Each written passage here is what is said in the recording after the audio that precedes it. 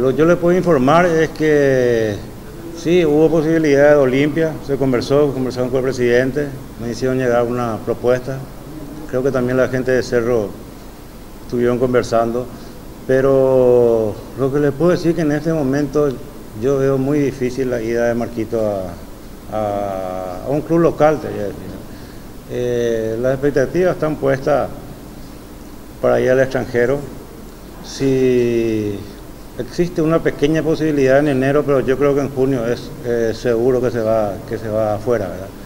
Eh, a lo mejor, como dice él, le falta cambiar un poco de aire.